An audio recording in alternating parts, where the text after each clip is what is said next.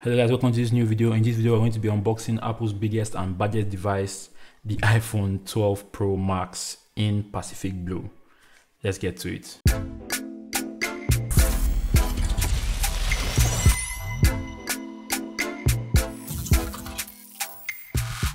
Straight off, let's take the plastic off the box and be done with these reflections. Yeah, that's a lot better. Now let's take a look around the box and see what we have. Of course, you can see the image of that gigantic iPhone there showing that it's in blue. And looking at the side, you can notice that it's in a slim box, especially if you compare it to the iPhone 11 Pro Max box. It's like twice the size. That's crazy. Of course, on both sides, you have iPhone written there. At the top and bottom, you have the Apple logos. Round back is where it gets interesting. As you can see, includes iPhone 12 Pro Max and USB-C lightning cable, power adapter and headphones sold separately. So now you know why the box is thin. And even more interestingly, this is the actual dual SIM model, which means it uses two physical SIM cards. As you can see there, I have two IMEI numbers that I'm stylishly covering up with my finger.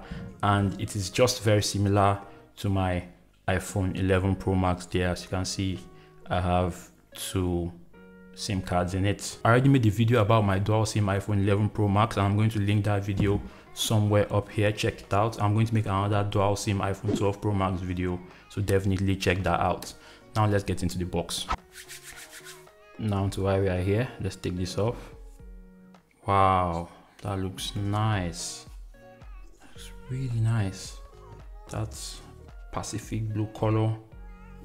Ooh, that's sick. Let's set this aside for a minute and check the other things we have in the box. Obviously, we have that USB-C lightning cable and yeah, SIM ejector tool, sticker. Yep, that's everything. So if you're buying an iPhone 12 Pro Max, I'm sure a lot of you already know there's no charger, there's no headphones in the box. Keep your old chargers, keep your headphones. However, I've gone ahead to pick up the new USB-C 20 watts power adapter and the MagSafe charger, which is not here yet. And that's what I'm going to be using for my beautiful iPhone 12 Pro Max. Before I power on the device, let's take a look at those specs.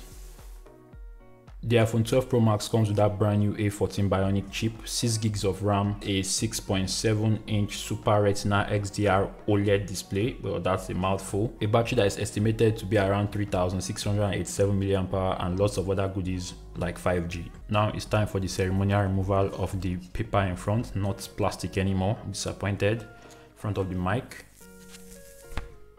So this is the iPhone 12 Pro Max showing my camera up there. I like how it feels in the hand. The sharp edges makes it feel so nice. So, so nice. Whoa, I can see so many fingerprints on it already. It's going to pick up a lot of those, especially this aluminum parts. Let's take a quick look around the device. Well, that's the screen obviously with that huge notch still disappointed it did not reduce. The screen is bigger so it makes the notch look smaller but no that's not the case. It's still as big. On the right side you can see the power button with that really nice aluminum frame there. It looks really good but once you touch it it's fingerprint city. On the left side you have the mute switch,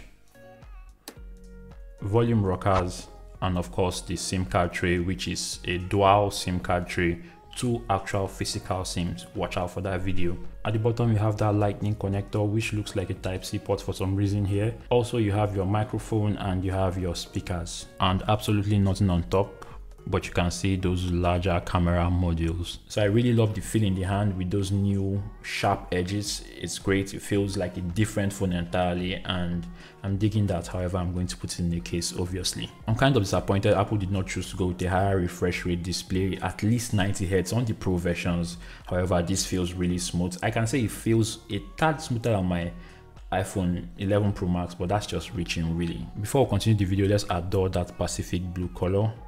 Oh, it's so nice. I'm glad I picked this one. Someone right now is going, I told you so. I told you, pick the blue one. Comparing it to the iPhone 11 Pro Max, as you can see there, the iPhone 12 Pro Max is ever so slightly taller, which looks about the same thing. As for thickness, the iPhone 12 Pro Max is slimmer. However, you can see that bigger camera bump there. Compared to the iPhone 11 Pro Max. And that's the difference in power button placement. The iPhone 12 Pro Max ever so slightly lower. I guess that's good so you can reach it a little bit more as it's a bigger phone. Button on device about the same lightning, speakers and microphone. On the left side you can see the mute switches, volume rockers. However, the SIM tray has moved to the left on the iPhone 12 Pro Max is on the right here and you can just see its fingerprint city over here. You need to wipe this thing down like every second or just put it in a case. Eric back again and we're going to do a quick camera test.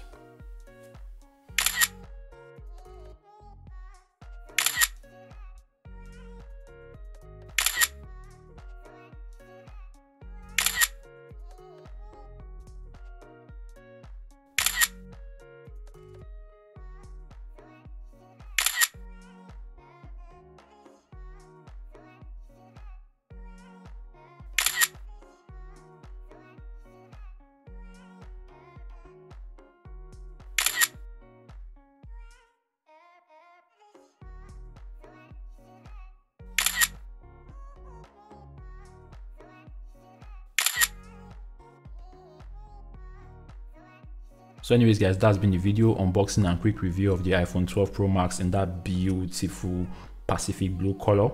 I'm going to have a lot more content on this device, especially my next video, which is a case video. So definitely subscribe if you don't want to miss that. I'll probably do some speed test comparison with the iPhone 11 Pro Max and, you know, camera test with the 11 Pro Max and the Google Pixel 4a. So that's it. If you like this video, definitely smash that thumbs up button. If you loved it and want to see more content like this, please subscribe and I'll see you guys in next one. Bye.